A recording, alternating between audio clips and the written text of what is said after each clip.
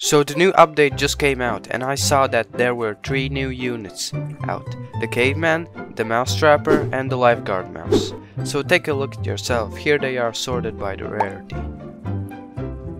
But I immediately went to summoning as he was 0.1% to get the, the mousetrapper. Here's a quick time lapse of how it went. Of course someone else got it before me, but I kept on trying.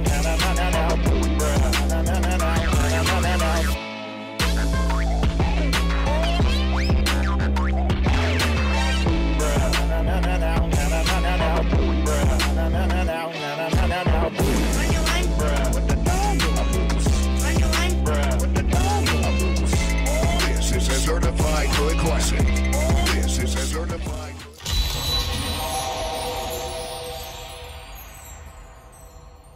Yep, I got my first epic from summoning. I whipped on the strength 3 on him and went to see what he's got.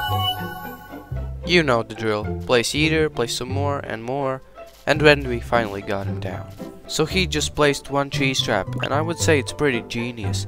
The mouses use their own real life trap against their enemies. So all of his upgrades just make his cooldown and trap's damage better, but not the last one. He gets a wrench, which does 1000 damage. So overall this unit is okay.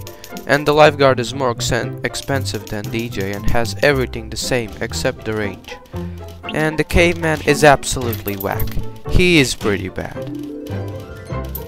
So this update was pretty fun I guess.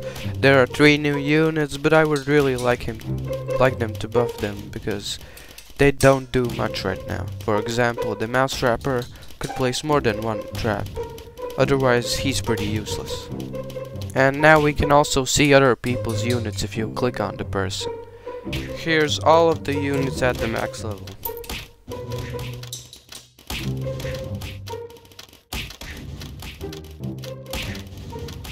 And that's about it. Subscribe and leave a like, and I'll see you in the next one.